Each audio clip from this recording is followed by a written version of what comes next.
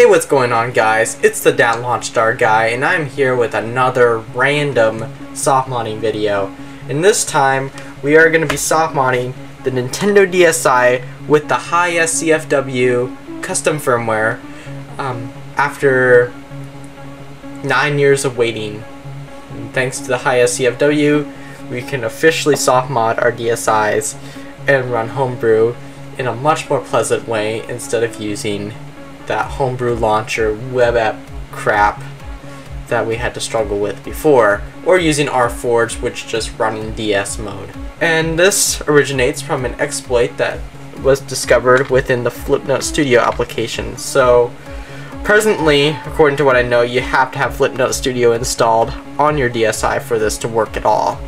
And but luckily, this DSi already has Flipnote Studio installed on it, so uh, we are good to go with that. All you really need for this um, to work is an SD card, um, preferably a not a non-SDHC card that is two gigabytes or less, kind of like what we did for the Wii U's Super Smash Bros. Brawl exploit. If you have subscribed to my YouTube channel since 2015 or so, in case you don't remember, I did a soft modding video um, previously uh, for the Wii U's Virtual Wii mode. Um, and, but now we're going to be doing the DSi because um, according to my research I couldn't really find any uh, videos that no offense clearly explain the process uh, in my opinion so um, that's why I'm making this video here so I hope you enjoy and I will um, go ahead and go onto the uh, computer and start putting the necessary files on our SD card. Okay, the first thing that you want to do is go insert your SD card into your computer and make sure you back up everything on the SD card if you have anything on here. I already did this off camera, but um, and it's already empty, but um, if you have any data, if you used the SD card previously in your DSi, you want to make sure you transferred everything. So, um, but after you transferred everything, you want to make sure it is formatted as FAT32 or else the exploit won't work. I learned this the hard way before and because I have done it with my, my own DSi, I'm just letting this one. You want to make sure it's formatted as FAT32 and I'll demonstrate that for you. You want to right click on it and click format and then you want to click on um, FAT32 right in the file system drop down menu and yeah, click on default allocation size and you can label it, I'll just label it DSi. And you can do a quick format, that'll be fine. And then you want to format the card. Um, just click yes if that pops up. Alright, so our format is complete. Now we are going to down, um, go to this website. I'll provide a link to this site in the description. First we are going to install something called Unlaunch which is basically a, um, like it says right here, it's a DSi boot code exploit which allows you to install CF, um, CFW, a DSi custom firmware to your console. So it's basically a custom bootloader for the DSi. So first thing we want to do is download all of these. So you want to um, save these to your um, DSi folder. Doesn't really matter where you put them, but I like to put them in a its own folder but basically you just want to download all of these. And for this one you just click on hide menu tar.bz2 don't worry this will work on Windows machines as well. Excuse um, the file extension probably was extracted on a, um, compressed on a Linux machine. And this is the exploit um, org upon however you pronounce it upon I don't know. But whatever. Excuse that. Um, this is the exploit that we used that we basically used to um, um, for Flipnote Studio. You want to download that as well and put that in your um, folder again. And you want to also download this. So what we want to do is copy the contents of the org pawn zip file or extract the contents to the root of the SD card just like that. And after that is completed, you want to copy uh, the firmware tooled NDS file directly to the root of the SD card as well. Um, and this one's a little bit trickier, but not, but also not too bad. Um, and also for this one, uh, in case um, you probably already have this already, but if you don't, you need to have an archiving program such as 7-zip to be able to open these files within Windows. Um, but 7-zip is the one I least recommend. You could use WinRAR as well, but I do use 7-zip. Doesn't really matter. Okay, so what we basically have to do is open the archive like that. Double click on this if you're using 7-zip, and then double click on that, and then you want to extract this boot.nds file to the root of the S or or you could just extract it all. It doesn't really matter. Uh, that's what I always did. So after that completed, so um, now we will have to um, copy our unlaunched.dsi file directly to the root of the SD card as well. Okay, so after this file has been copied, you want to right click and rename it and change this DSI extension to NDS just like that or else the menu um, that menu um, HB menu thing that we put on there um, would not recognize it or let you execute it. So after you have all those files on there, make sure you eject it. You don't want any file corruption happening here. You want to make sure you eject it always when you're dealing with this. So after you copied all those files to your SD card, you want to insert them into your DSI right on the side right here.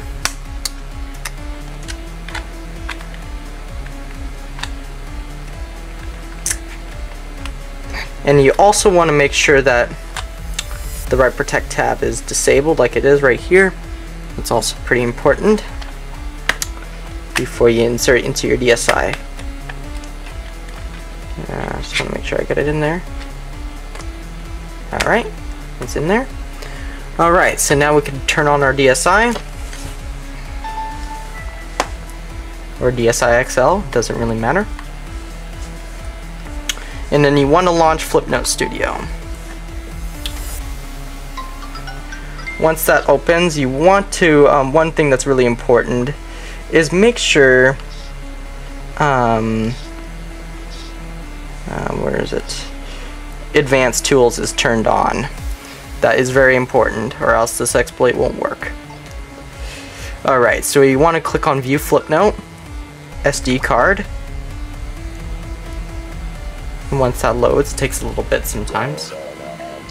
You want to click on Select Folder, User, and then you want to click on org PWN, however you pronounce that and then you will see two flip notes appear.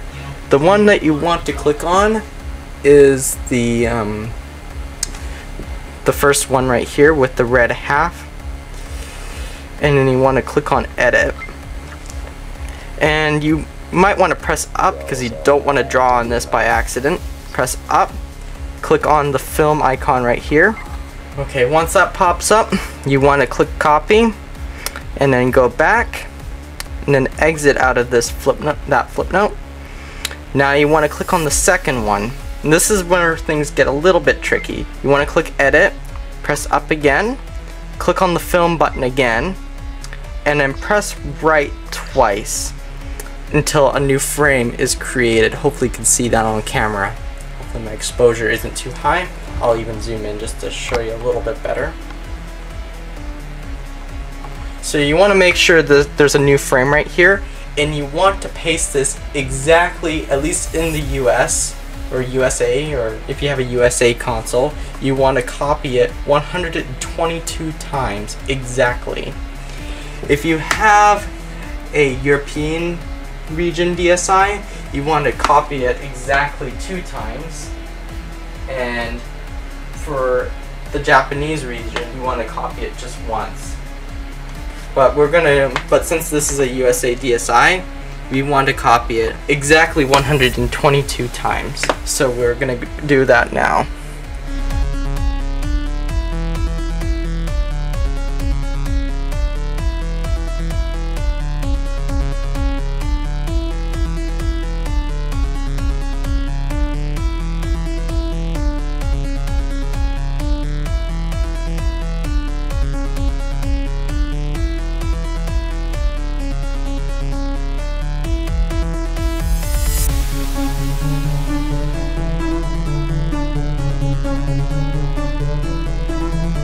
So after you have pasted it 122 times, you want to click erase and then paste.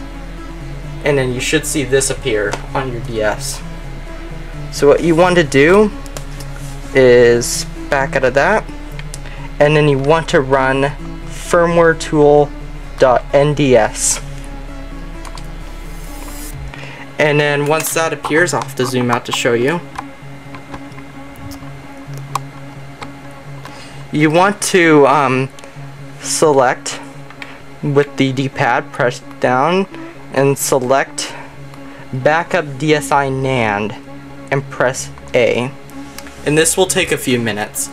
And do not turn it off while this is happening or remove the SD card obviously. And it's also recommended to leave it plugged in while this is happening. Um, so it's basically uh, what this is basically doing is backing up the system's NAND or internal storage onto the SD card as an image. And we will need that for when we um, install the custom firmware. So I will be back once this is finished. So once that process finishes you want to use the d-pad and click on exit right here and press A. Once it goes back to this screen, you want to hold down the power button and turn off the DS. After that, you want to take out the SD card and put it back into your computer. Okay, once you inserted the SD card in your computer, you want to copy and make a backup of this file that says firmware 8C56C um, C5EE, whatever. It probably will vary depending on which DS you, um, uh, for you, but this is what it says for me.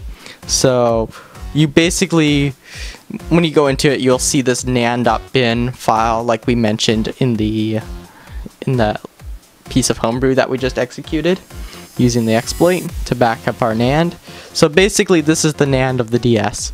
So basically, um, sorry if I keep repeating myself, you want, you just want to um, copy this to your project folder or whatever. Make sure you put it in a safe place that you remember where it is. Because you will need it later. And after that finishes, you want to eject your SD card yet again, still making sure you have the unlaunch file on there and make sure it's renamed to NDS like we did before. You want you want to always make sure you eject it because it's better be safe than sorry. So after you so now we are going to go back to the DS and install unlaunch. So after we copied our NAND files to the computer in our project folder, we want to um, put back in our SD card yet again and do the same exploit that we did before using Flipnote Studio.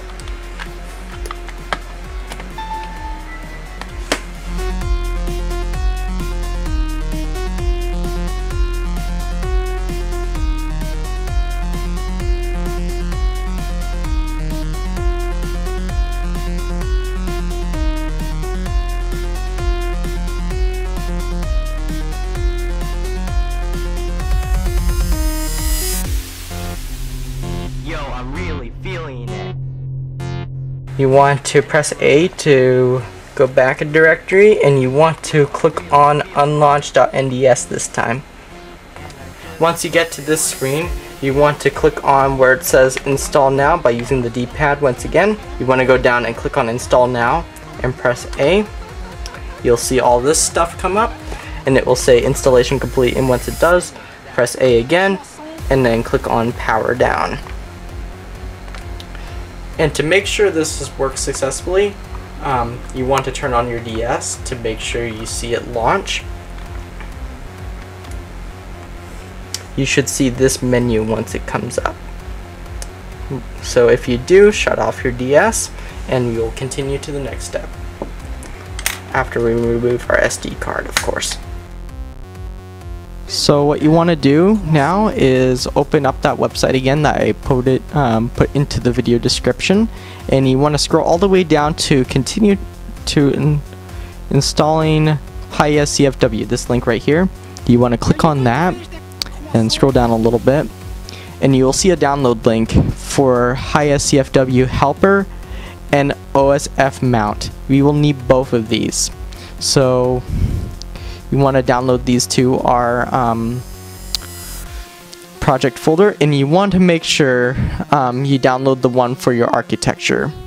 So if you have a 32-bit Windows installation, you want to do the 32-bit one, or if you have a 64-bit, you have, want to do the 64-bit one. But since I have 64-bit, we are going with the 64-bit one, and that same applies with the OSF helper.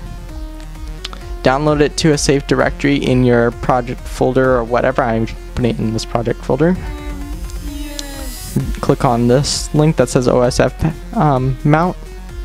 And you, and you, want to select the one for your architecture. And in my case it's 64-bit if you're doing 32 you want to do 32-bit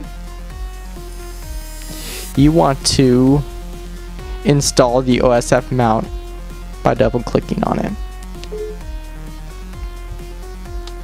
and you want to follow through the setup wizard I already did this so I'm going to cancel it for now but you want to make sure that's installed on your computer. After you um, installed that, you want to extract the contents of this. I'll just use 7-zip to do so.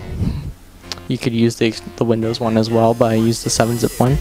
Okay, so you want to go into here, and then um, double click on this HiSCFW helper executable right here. What you want to do is click on this button right here that says dot dot dot and navigate to your NAND backup that we copied earlier, which is in our DSI project folder, and then in this folder here, and you want to click on nand.bin. So after you, um, you loaded that, you just want to click start.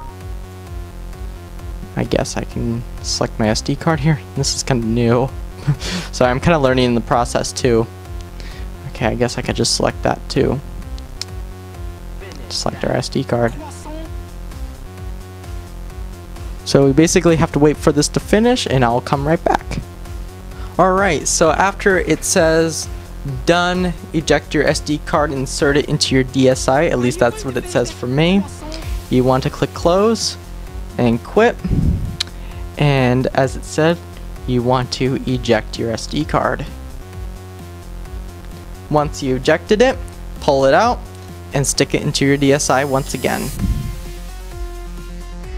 After putting back in your SD card, power it up once again, and we should see our unlaunch menu again. You want to click on options, click on where it says no button,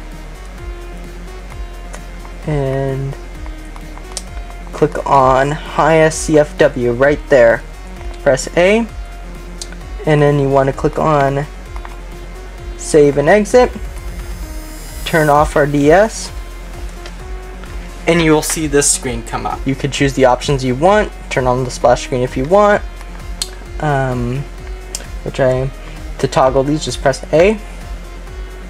Um, I'll enable the splash screen, whatever you want. I'll just leave these two enabled. So, and after you've done that, just press start, and you should see this on your DS. Just give it a few minutes. It takes a little bit longer to load since it's loading from the SD card. So once it does load, and you see these, and if um, try launching the Twilight menu, and if you are able to launch this, congratulations, you have successfully soft modded your DSI after 9 years of waiting for a effective exploit to be released. So, if you have any questions regarding how to use the soft mod or any installation questions you have, feel free to comment below on this video and I'll try my best to answer those questions for you. Um, so yeah. I hope you guys enjoyed and as always, thanks for watching and see you guys soon.